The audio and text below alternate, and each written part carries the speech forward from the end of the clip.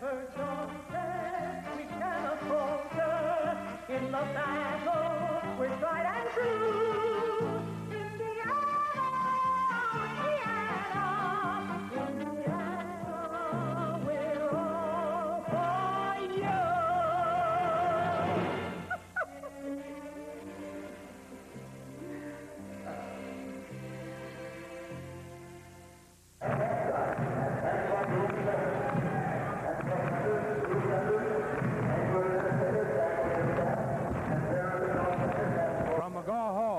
Princeton, Illinois. Welcome to Indiana University basketball. Tonight, the Wildcats of Northwestern 0-1 of the Big Ten season are facing the Hoosiers also 0-1. Hello, everybody. I'm Chuck Marlowe along with John Laskowski, and we're just about set to bring you another big Big Ten game. John, very important for the Hoosiers. It really is. We got off to a bad start Thursday against Michigan State. I think it was a matter of the guards were just too quick, and we didn't contain him enough for Michigan State. Northwestern is led by Jim Stack. He's 6'8". He plays underneath, averages about 15 points a game. They've got to shut him off. But I think uh, more importantly, uh, it doesn't really matter what Northwestern does. It's more a matter of how Indiana plays. They, they've lost three games in a row now, and they themselves can decide their own fate. So it's Indiana that's going to have to dictate how well they play tonight, and they're going to have to stop Stack. We'll return with the starting lineups in just a moment.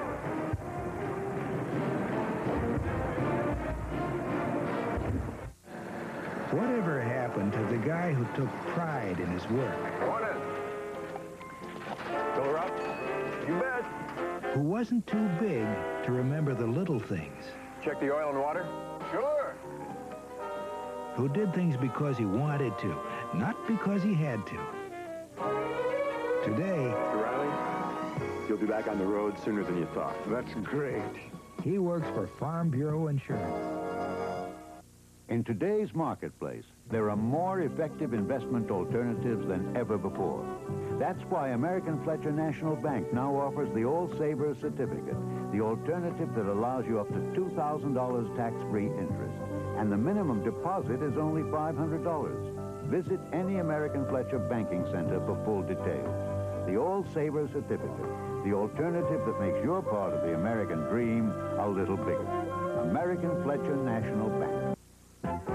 Those extra special moments alive forever with Big Shot 35 color prints from your neighborhood Hooks dependable drugstore. Our new Big Shot 35 process gives you extraordinary 4x6 inch color prints from your 35 millimeter film. They're extra big, bright, and glossy, using only Kodak paper for a good look with expert photo finishing by Levers. Capture those special moments with Big Shot 35 color prints from your Hooks dependable drugstore.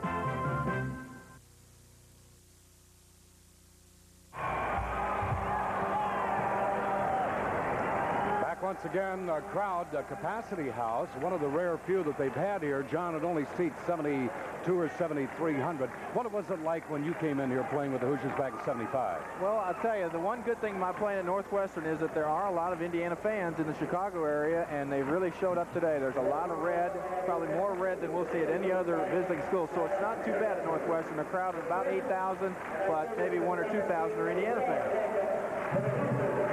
Has not lost to Northwestern since 1969. Bobby Knight has never lost to the Wildcats. Bobby is in his 11th year. His Big Ten record is 237 and 72. That's including last Thursday night's loss to Michigan State. Here is Ted Kitchel. He'll be starting at one forward from Galveston, Indiana, 6'8", and a junior. Indiana starting at, uh, now for Northwestern starting at one forward position, Jim Stack. They will use the Big Ten alternate system. Jim Stack is 6'8", 220 and the senior from Chicago. There's John Flowers, Fort Wayne South. He is 6'9", a freshman.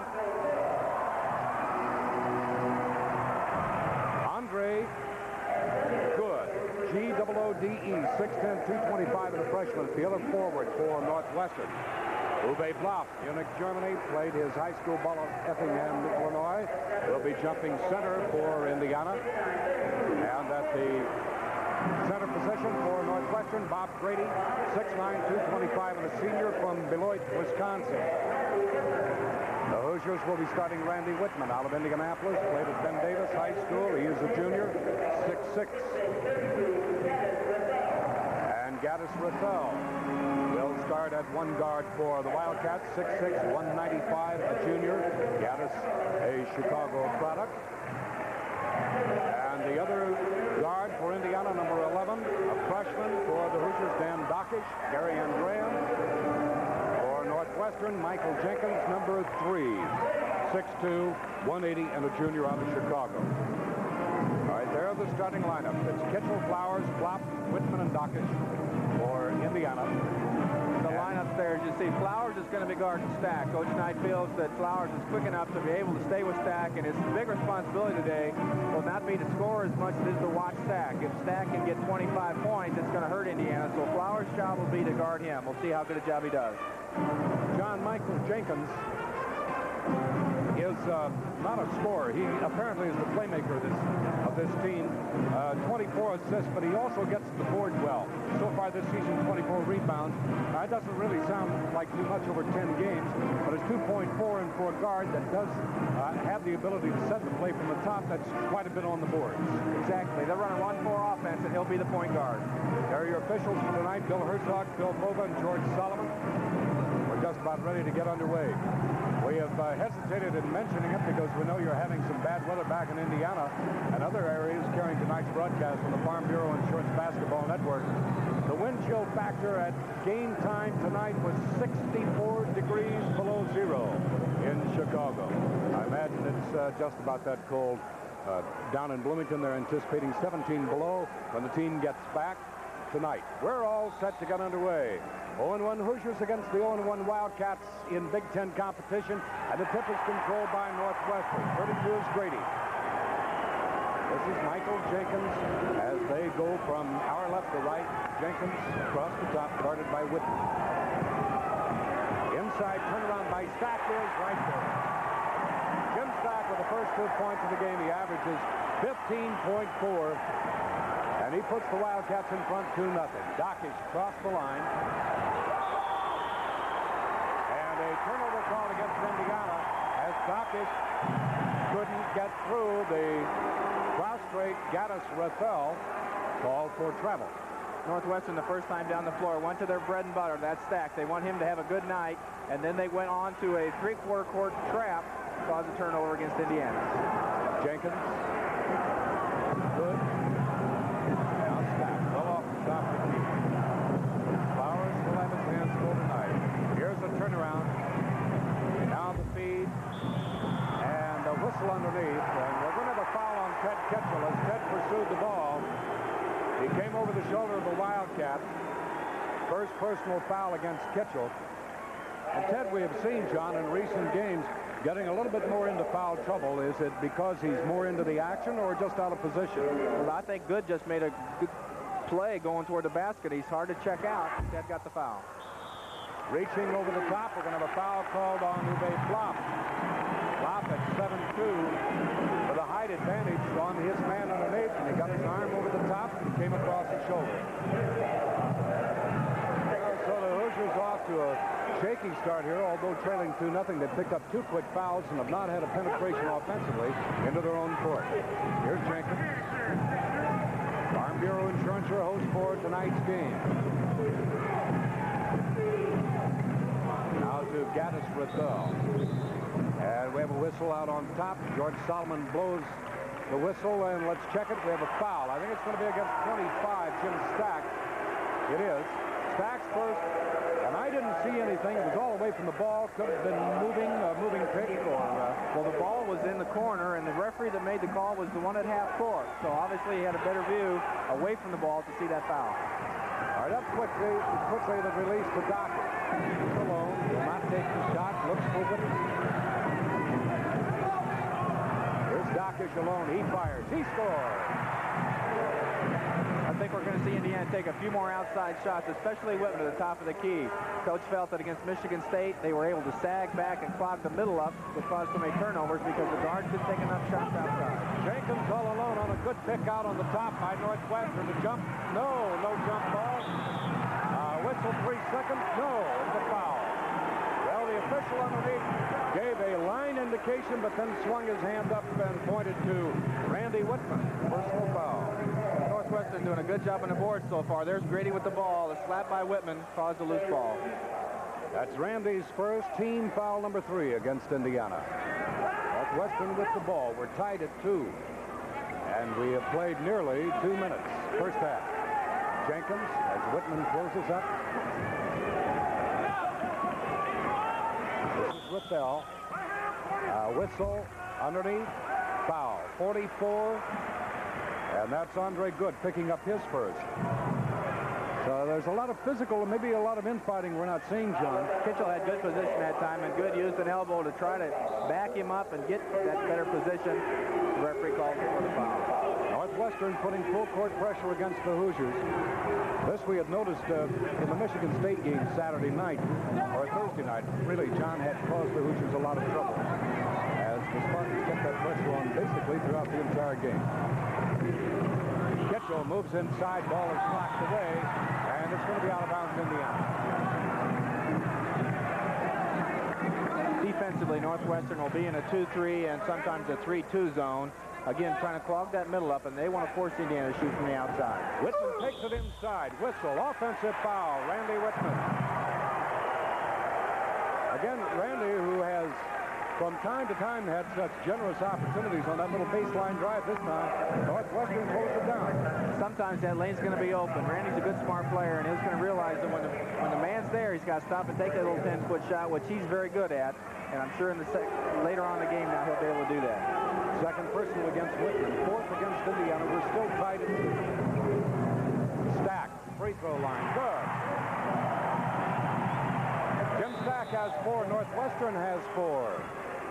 That's how Stack can hurt you. If he can get to that purple area here at Northwestern and get the ball inside, he's only 10 feet from the basket. John Flowers has got to play off when the ball's on the weak side, and if Stack makes his cut in the middle, he's got to cut him off. Whitman. Flowers inside, off the glass and good. John Flowers arched it high, found the range, and we're tied at four.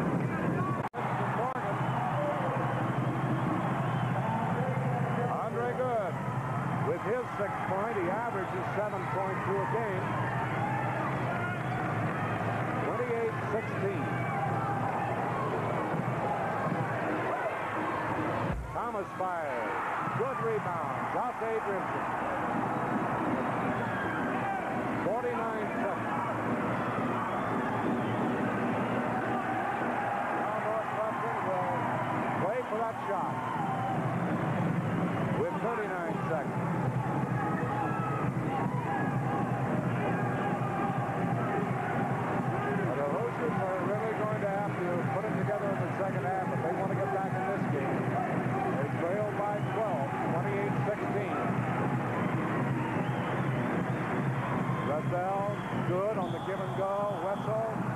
going to have a foul.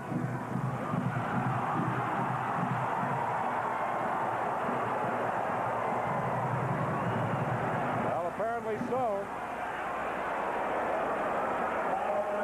On number 20, that would be Jim Thomas.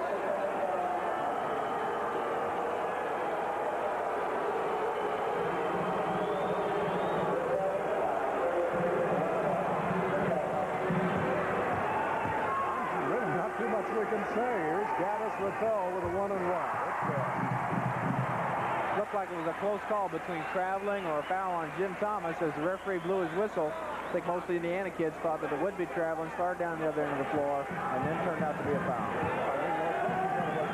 They've sort of cut back to the basket. Here's Rathel second. It's good. Rathel has four, 17 seconds left, and Northwestern comes all the way back. They'll let Indiana bring it up without a contest. 30-16 is the score. 14-point deficit. Inside pass for Percy. Northwestern just gets right in the passing lane. Lost away. The foul. By Aaron is good.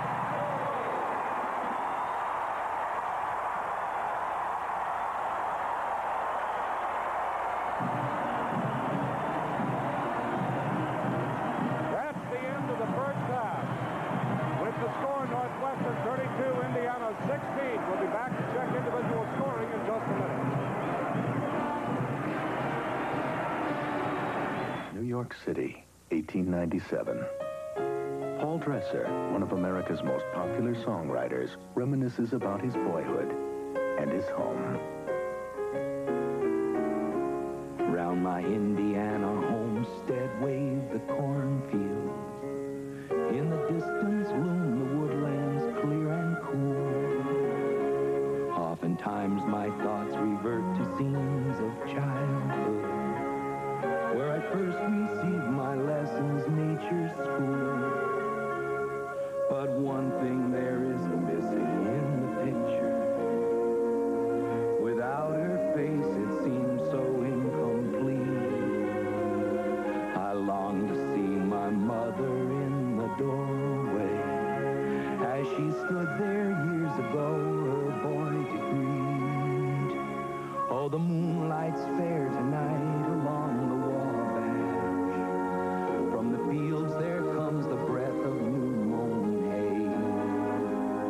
the sycamores the candle lights are gleaming on the banks of the Wabash far away.